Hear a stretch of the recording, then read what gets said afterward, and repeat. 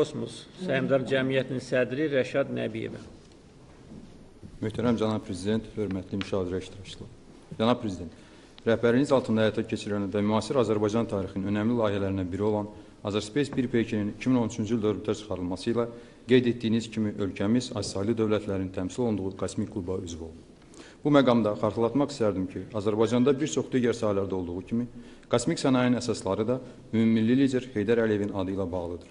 1974-cü ildə Azərbaycan Elmlər Akademiyasının nəzdində Kosmik Cihazqarma Konstruktor Bürosu yaradılmış və kosmik tədqiqatların aparılmasına başlanılmışdır. Əfsuslar olsun ki, ötən əsrin 90-cı illərin əvvəllərində Azərbaycanda cərəyan edən siyasi proseslərin destruktiv təsirləri kosmik sənayedən də yan keçməmiş, bu sahədə ixtisaslaşmış kadrların ölkədən axınına, əldə olunmuş bilik və təcrübənin itirilməsinə səbəb olmuşdur. Zat hallər, 2009-cu ildə təsdiq etdiyiniz Azərbaycan Respublikasında kosmik sənayenin yaradılması və inkişafı üzrə dövlət proqramı ilə Azərbaycanda müasir kosmik layihələrin həyata keçirilməsinə start verildi. Bu da öz növbəsində xarici dövlətlərin peyklərindən asılığı aradan qaldırdı və Azerspace Pay ölkəmizin informasiya təhlükəsinin vacib komponentinə çevrildi. Azerspace bir peyki ilə yanaşı Azerskyda suverenliyimizin qorunması və Azərbaycan həqiqətlərinin dünya ictimaiyyətinə çatdırılması üçün geniş imkanlara malikdir. 2015-ci ildən etibarən Azarsky peyki ölkənin müdafiə və təhlükəsizliyi üçün davamlı istifadə edilir. Həmçinin işğal olunmuş ərazilərimizdə törədilmiş yanğınların mütəmadi olaraq monitorinqi və dəymiş ziyanın qiymətləndirilməsi aparılır. Bundan başqa, ötən il Kəlbəcər və Zəngilan rayonları arasında yerləşən friz yataqlarının kosmik monitorinqi də həyata keçirilmiş və hasilat sahələrində baş vermiş genişlənmələr aşkar edilmişdir. Cənab Prezident, Bütün bunlarla yanaşı, BEK proqramlarının biznes layihəsi kimi özünü doğrultması istiqamətində verdiyiniz tapşırıqların da icrasına davamlı şəkildə həyata keçirilir. Dünyanın 25-dən çox ölkəsində sabit müştəri bazasına malik olan Azerspace 1P2 üzərindən Azərbaycan, Türk, Rus, İngilis və digər dillərdə yerli və beynəlxalq səviyyəli ümumilikdə 100-ə yaxın televiziya və radio kanalı yayımlanır. Bugün Reuters, MTV, National Geographic kimi media nəhəngləri PEK xidmətləri üzrə biznes tərəfdaş olaraq bizi seçir. Rəqib PEK operatorlarından fərqli olaraq Azerspace 1 üzərindən yayımlanan kanalların məzmun seçiminə xüsusi əsaslıqla etik və milli mənəvi dəyərlər prizmasından yanaşırıq.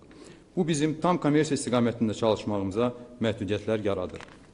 Lakin biz bu itkiləri ölkəmizdə digər sahələrin inkişafı hesabına kompensasiya etməyə çalışırıq. Belə ki, sizin idman sayəsində yürütdüyünüz uğurlu siyasətin nəticəsi olaraq ölkəmizdə keçirilən mötəbər idman tədbirlərinin müsbət təsirlərindən faydalanan sahələrindən biri də pek yayımı sahəsidir. 2015-ci ildə vətənimizdə keçirilən ilk Avropa oyunları, həmçinin ötən ilin ən önəmli idman hadisələrindən biri olan 4-cü İslam həmrəliyi oyunları, Formula 1 yarışları Azerspace 1 peyki üzərindən yayımlandı. Bu da Azerkosmosun ISB və Tata Communications kimi nüfuzlu yayım şirkətlərinin daimi subpadratçılar siyasətinə daxil edilməsinə və nəticədə peykimizin orbital mövqeyinin tanınmasına səbəb oldu. Azərkosmos qlobal peyk xidmətləri bazarının fonunda kiçik regional peyk operatorudur. Lakin peyk xidmətləri bazarında fəaliyyət göstərdiyimiz 4 il ərzində biz bu əlverişsiz mövqeyi üstünlüyə çevirməyə çalışmışıq. Fəaliyyətimizi strateji inkişaf planı əsasında qurur, korporativ idarə etmənin ən son yeniliklərini tətbiq edirik.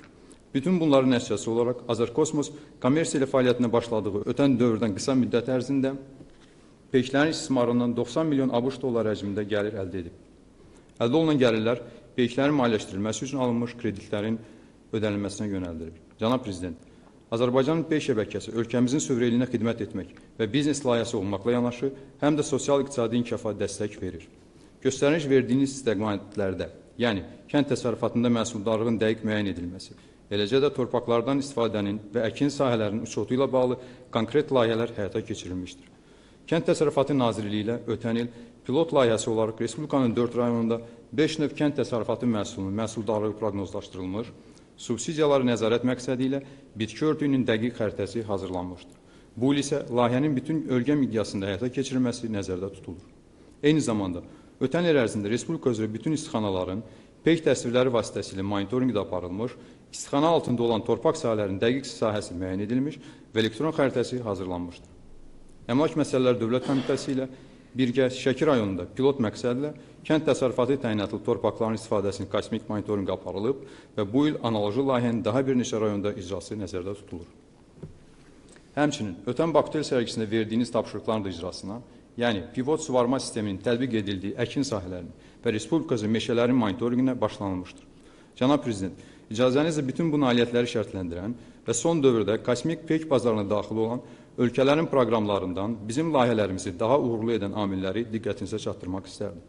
Sizin Azərbaycan heç vaxt bu qədər güclü olmayıb fikrinizi müxtəlif sahələrdə çalışan şirkət, Azərbaycan şirkətləri öz gündəlik fəaliyyətlərində hiss edirlər. Bu güc və beynəlxalq nüfuz bizə imkan verir ki, ən qabaqcıl kosmik texnologiyaların, bilik və bacarıqların ölkəmizə transferini həyata keçirək.